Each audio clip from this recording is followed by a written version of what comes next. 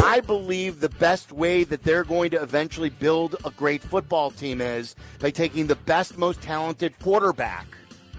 And with that other high first round pick, doing a lot of stuff with that, either taking the best tackle or the best wide receiver, or trading down and getting multiple picks for that, and trading just and, and doing like it's not just a one swing thing with Caleb Williams at number one with Carolina. You can draft the quarterback and you can still do a ton with all the other draft capital that you have lined up. It's the reason why Ryan Poles,